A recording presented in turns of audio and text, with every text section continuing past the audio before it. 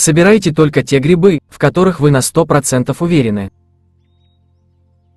Говорушка дымчатая или рядовка дымчатая – гриб рода говорушек семейства рядовковых. Дымчатая говорушка растет с конца лета до поздней осени, особенно обильно с середины сентября до первой декады октября, в иловых и смешанных лесах предпочитая, видимо, образовывать микоризу с елью, а также на опушках, в садах. Часто появляется очень большими группами, образуя кольца и ряды. Шляпка крупная, мясистая, диаметром 5-15 см, в начале полушаровидная, с возрастом распростертая, иногда вдавленная. Цвет пепельный, иногда с желтоватым оттенком, края светлее, чем центральная область. Мякоть толстая, белая, с возрастом становится рыхлой. Запах очень характерный, фруктово-цветочный. Ножка толстая, расширяющаяся к основанию, часто булавовидная, мясистая, светлая. Высота 4-8 см, толщина 1-3 см. Рядовка дымчатая, хороший съедобный гриб, по некоторым данным условно съедобный. Гриб лучше отваривать, отвар в пищу не использовать.